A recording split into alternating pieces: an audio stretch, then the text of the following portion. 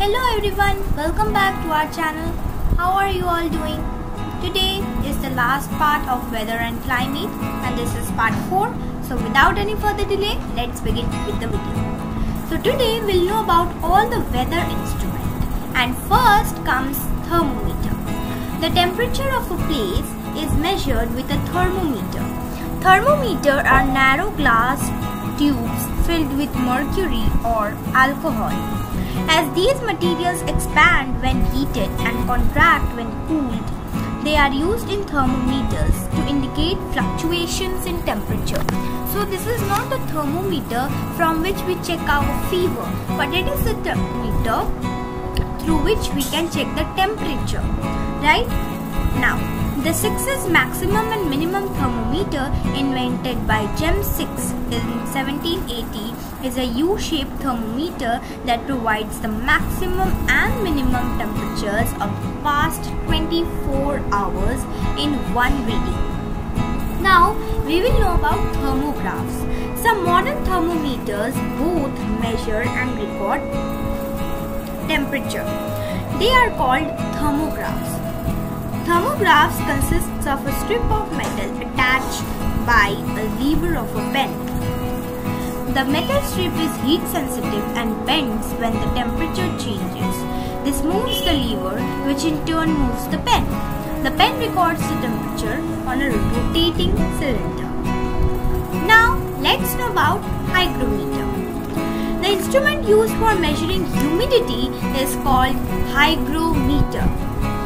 Now, there are some steps in which you can find out the humidity with the help of this instrument. First of all, a hygrometer consists of a wet and dry bulb thermometers. Now, the wet bulb thermometer is wrapped in a piece of cotton cloth or wick that is dipped into a small cup of water. When the air is dry, water evaporates through the wick. This cools the wet bulb thermometer and the mercury in it contracts, thus showing a low temperature reading. Now, the dry bulb thermometer is not affected and shows the correct temperature. The difference between the two readings indicate the humidity in the air.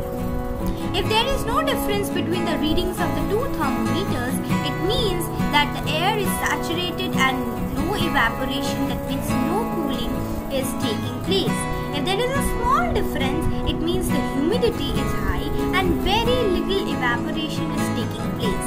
Now, if the difference is high, then just the opposite will happen. That means the humidity will get low and the evaporation will get in a rapid or a higher way. Now let's know about rain gauge. All forms of precipitation that means liquid precipitation and solid precipitation both are measured using a rain gauge. Now here are also some steps. First of all the rain gauge consists of a jar with a wide mouth funnel placed over it. When it rains the water falls through this funnel and collects in the jar. Second, the rain gauge comes with a specially marked measuring cylinder, otherwise we'll not be able to know that how much water has been collected, right? Into which the rain water is poured every 24 hours. The markings on the cylinder indicate the amount of rain that has fallen. The rain gauge measures the depth of precipitation, usually in millimeters per square. Now, let's know about the third step. In cases of snowfall, the snow is melted very carefully and the liquid measured. 1 centimeter of snowfall is equivalent to 1 millimeter of rainfall. Now, the modern rain gauge is linked to a self-recording instrument called pluviograph. This instrument continuously records the amount and duration of precipitation. Now, as I explained in my earlier videos for barometer, I'll again explain it with the proper steps. First of all, barometers, what are the tasks? They have the task to record the atmospheric pressure. The Fortin barometer offers accurate readings for it. However, it is not portable as it contains a large volume of mercury. Right? Instead, people these days, especially mountaineers and pilots, use the aneroid barometer. Now how it works. The aneroid barometer consists of a metal box from which most of the air has been pumped out. That means it creates a partial vacuum with uh, like partially no air at all. The box is sealed with a corrugated lid. The lid bends slightly when the pressure changes. Movement of the lead either causes the pointer to move on a graduated clockwise dial or it causes the number to change on a digital screen. Now, the last step that is, the aneroid barometer does not use fluids and can therefore be carried around with ease. There is no problem to carry it because it is quite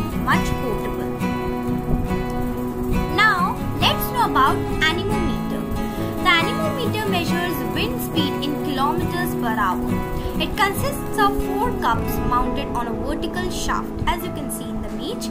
The wind pushes the cup and sets the shaft turning. The number of times the cup turns within a set time period is used to calculate the average wind speed. The, and moreover, wind speed is measured in knots. Let's know about a very common instrument. The wind vane or weather weathercock indicates the direction of the wind. It has four stationary arms that point to the four cardinal directions and rotating arrowhead that points to the direction that the wind blows from. The wind vane and anemometer should be placed on top of a high building in order to get accurate readings. Your support, I have completed this topic as well. So, keep supporting me and you can give me more topics on which I can make videos. Thank you for watching my videos. Happy studying.